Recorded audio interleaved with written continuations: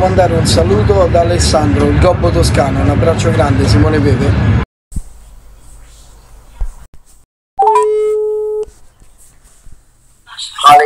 Sì, ciao Simone. Buongiorno. Buongiorno a te. Intanto siamo in collegamento sul canale Gobbo Toscano di YouTube. Abbiamo ospite Simone Pepe. Simo, come va intanto? Molto bene, tutto alla grande, dai. Bene, bene, bene. Direi un po' Scusate Se meno. sentite un po' di casino, ma sono in treno. Non ti preoccupare, non ti preoccupare, già grazie per la disponibilità. Assolutamente. Dicevo, è un po' meno bello il periodo per la Juventus e per noi Juventini. Eh, il periodo non è facile. Speriamo bene mercoledì in Coppa Italia, anche se sarà una partita molto difficile perché l'Atalanta è una squadra che sta in condizioni sia fisiche che mentali che tecniche al top, quindi sarà una partita difficile, la Juve non molla mai, è una finale, quindi può succedere di tutto e, e speriamo bene. Eh sì, quello sì, incrociamo le dita, quello assolutamente. La Juventus eh, ieri, eh, non per meriti suoi, ma per demeriti della Roma, diciamo, o per merito dell'Atalanta, ha conquistato matematicamente un posto nella prossima Champions League, no? Ecco, te come, mh, che, che voto dai alla stagione della Juve? Complessivamente. Beh, sicura- sicuramente, secondo me la Juve ha fatto benissimo la prima parte che, che magari non ci si aspettava così bene, ha fatto malissimo la seconda che non ci si aspettava così male. Diciamo che no, è stata, stata una cosa un'annata un po' particolare. L'Inter è la squadra più forte, l'ha, l'ha dimostrato, la Juve però comunque avendo, avendo una, una buona squadra, non a livello dell'Inter, eh, si pensava potesse fare meglio, invece strada facendo, poi nella seconda parte si è, si è un po' perso. Però bisogna ripartire, ecco, bisogna ripartire il prossimo anno, ma soprattutto finire, finire l'anno bene, provando a vincere la Coppa Italia, eh, ricominciando con la Juve in Champions il prossimo anno eh, ricominciare a lottare da Juve per, per vincere. Certo, ecco un- una parentesi sulla panchina della Juventus, no? Non voglio che mi dici qualcosa di particolare, ma semplicemente se in caso dovesse cambiare Massimiliano Allegri, no? E quindi cambiare la direzione tecnica per la prossima stagione, te eh, ve- vedresti meglio un Antonio Conte o un Tiago Motta sulla panchina della Juve? Ma Tiago Motta ha fatto benissimo, non lo conosco, cioè se giocato insieme non lo conosco come allenatore, ecco bene come conosco il mister Conte che ce l'ho avuto per tre anni, quindi più, posso essere più dettagliato sul mister che meno su Tiago, ma mi dicono che è molto molto bravo pure Tiago, questa è una scelta molto difficile pure da parte della società, nel senso che Conte conosce l'ambiente, e sappiamo quello che, che può dare alla Juve, sappiamo come lavora e sappiamo che anche il giocatore è, mm, forte ma non, non il campione lo fa rendere al massimo. Eh, Tiago Motta ha fatto altrettanto col Bologna perché comunque oggi parliamo tanto di Zirche, parliamo di Ferguson, parliamo di Foscio, eh, sono tutti giocatori forti ma che eh, un anno e mezzo fa, due anni fa non conosceva non nessuno ma comunque si conoscevano poco. Quindi eh, sono due bravi allenatori e, e speriamo che chi, chi arrivi possa fare il bene della Juve questo è importante. Certo, certo, sono, d'accordo con te, ecco, io non ho, cioè io forse ho una preferenza, sì, per Antonio Conte perché, perché l'abbiamo vissuto, no? Diciamo noi Juventini come allenatore, quindi ci dà un po' più forse di, di garanzia, di Ci dà un sicurezza. po' più di garanzia perché conosce la juventinità, ce l'ha dentro, eh, eh, l'ha fatto da giocatore, l'ha fatto da allenatore, quindi eh, poi è un allenatore, un allenatore forte, strepitoso, ti prepara eh, in tutti i modi, sia fisicamente, sia tecnicamente, sia tatticamente, quindi eh, Ma- è una cosa che conosciamo. Certo, ma una domanda un po' particolare, ma com'erano gli allenamenti con Conte? Eh, gli allenamenti erano duri, ma i risultati Si vedevano. si vedevano, quindi se l'allenamento è duro ma c'è il risultato, eh, penso che anche al giocatore passi il messaggio del, del sì ok faccio fatica, ma rimango nella storia di, di uno dei club più importanti al mondo. Certo, certo, no, no, no, su quello sono pienamente d'accordo. Ecco, secondo te è giunto il momento, diciamo, per la Juventus di cambiare guida tecnica?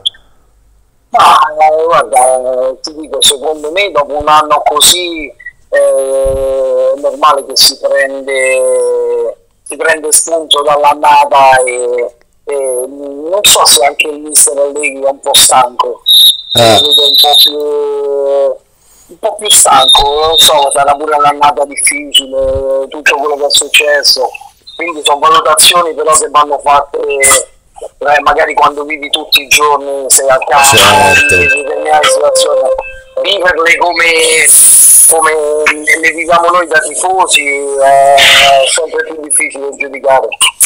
Certo, è vero. Guarda, in una recente diretta, sempre sul canale YouTube, eh, ho parlato con eh, Geda, no? Ex Cagliari. E Sì, sì, ha alle- giocato con me. Ecco, eh, ha giocato anche con te.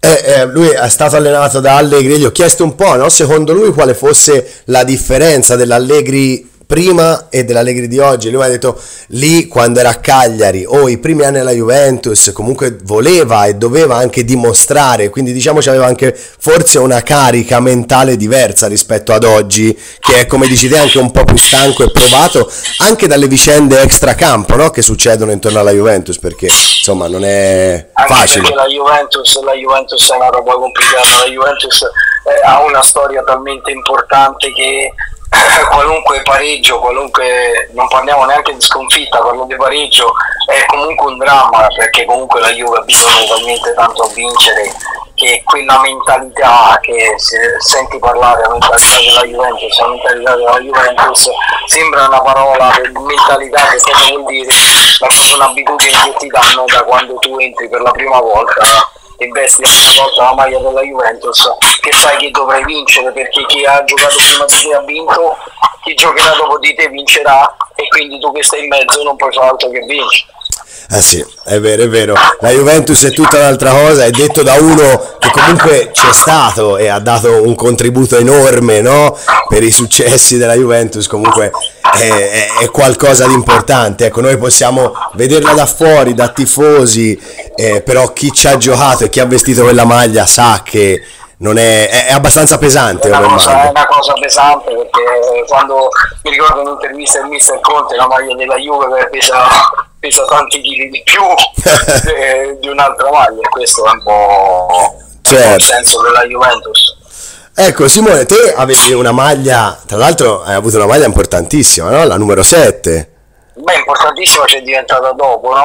Sì, beh, vabbè, però diciamo che te gli hai dato il via, no? E, e io mi ricorderò sempre quel gol col Napoli.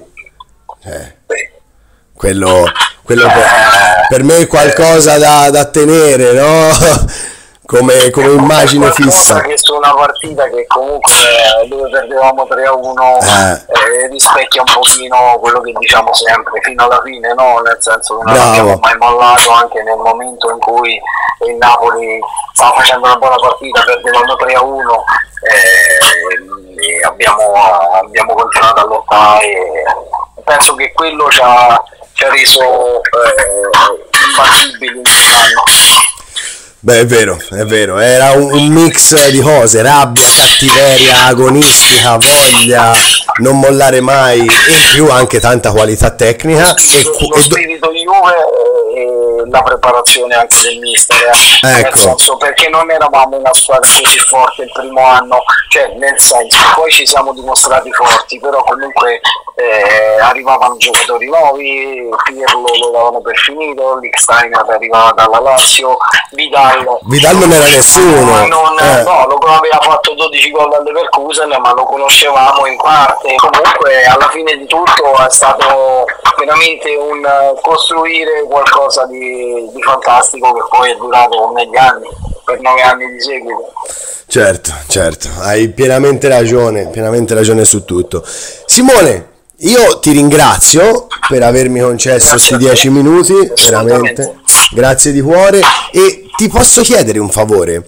Se riesci, se riesci a mandarmi un, un saluto in video breve breve che Sì, almeno... mi hai scritto l'altro giorno, poi sono stato incasinato No, me- non ti preoccupare Simo, lo sai perché? Perché eh, spesso che mi fanno, no? Pensano che siano voci registrate, finte, ora con questi Eh, ma la programmi. mia, la mia se vuoi registrare No. Guarda, io intanto ora scarico l'audio e tutto. Se mi riesci a... siga, oh. Manco di siga arriva uguale È vero. Guarda, mi basta che mi mandi, che ne mando so. un video e ti dico ciao Ale Ciao Ale, eh, sono Simone. Pepe. Perfetto. Vai. Grazie mille Simo. Un abbraccio. Ciao ciao. Grazie, ciao.